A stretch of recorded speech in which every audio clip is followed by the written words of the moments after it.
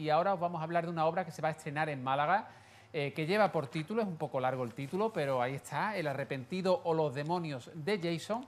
Se estrenará el viernes de la semana que viene, el viernes 3 de febrero y el sábado 4 de febrero es el segundo pase, en el Teatro Echegaray, dentro del Festival de Teatro de Málaga. Tenemos a los dos artífices de esta producción, por parte de Jóvenes Clásicos, José Carlos Jueves, y por parte de Silencio Danza, pues Nieve Rosales. ¿Qué tal? Buenas tardes. Buenas tardes, Diego. Buenas tardes. Bienvenidos al programa y bueno, me imagino que con muchas ganas de que llegue el viernes de la semana que viene y estrenar vuestra obra, que es estreno absoluto en Málaga. Estreno absoluto. Y sí, como tú dices, ya deseando enseñar el trabajo, estamos muy contentos además de que sea en el Festival de Teatro de Málaga, que un estreno en el festival siempre es algo potente. Vosotros además tenéis un recorrido súper interesante, eh, él en el teatro, eh, vamos a decir teatro contemporáneo y clásico sobre todo, ella pues con propuestas de danza eh, más clásicas, más contemporáneas, pero además con multitud de premios cada uno, en festivales como Almagro y tantos otros festivales, habéis sido reconocidos por distintas propuestas teatrales y ahora unís fuerzas ambas compañías y sacáis este producto teatral que bueno, mezcla mm, teatro, monólogo sobre todo, porque es solo él en el escenario, el monólogo de José Carlos Cueva y la danza de tu compañía.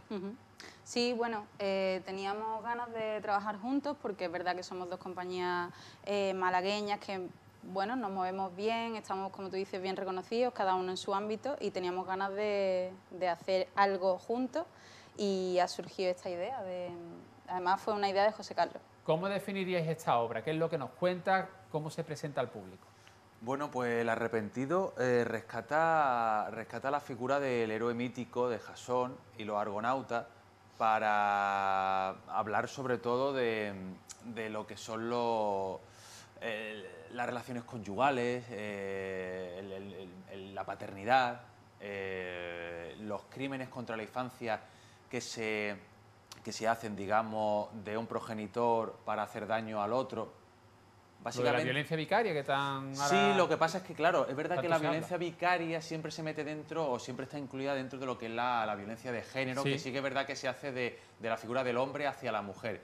La violencia contra la infancia ahí mete a los dos, a los dos sexos, ¿no? Digamos, decir, es eh, hacer daño a los hijos o sea, hacer daño a los hijos para hacer daño al otro, al otro cónyuge. Da igual que sea hombre o mujer. O sea que a través de, esa danza y de ese monólogo teatral, pues tocáis temas que son universales. sí. Claro. Y, atemporales también, entiendo, ¿no? Claro, por eso, por eso siempre al final, yo de mi parcela, siempre los clásicos siempre tienen em, esa amplitud para hablar de temas universales y darle, digamos, pues una nueva, una nueva revisión, ¿no?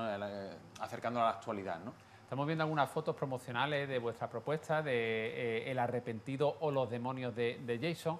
Y em, me gustaría que hasta donde podáis decir, porque estamos hablando de un estreno, pero ¿cómo es esa puesta en escena? ¿Cómo es la escenografía que rodea al personaje que interpreta José Carlos?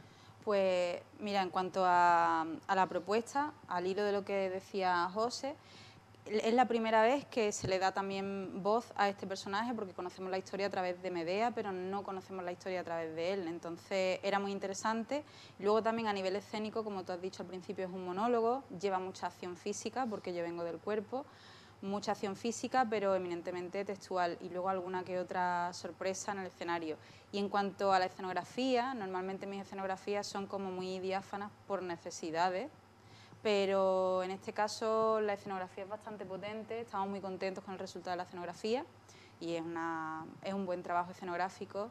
Todo el equipo ha hecho muy buen trabajo de iluminación, de vestuario, de escenográfico, José en la actuación y bueno, señalarte también que el texto es de Raúl Cortés y de Mercedes Martínez, que es un texto que se ha creado para esto, que siempre, mm, bueno, es una apuesta también, ¿no? El contar con dramaturgos que escriban para levantar un texto desde cero.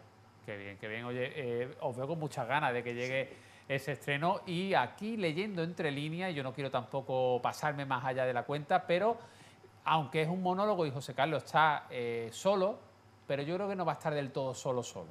¿Lo dejamos ahí? Lo dejamos ahí. Lo dejamos ahí. Ahora no con una sorpresa. bueno, eh, ¿habéis tenido oportunidad de testar ya la obra en estos ensayos últimos, últimos, mm. ultimísimos, con, sabe, un público muy reducido, gente a lo mejor de la profesión? ¿La habéis hecho? No, no hemos tenido todavía la, oportunidad porque estamos como ultimando la fase en la que ahora estamos incluyendo precisamente la escenografía, que no, deja de ser un personaje más que, que- que- que tiene su importancia dentro de la propuesta.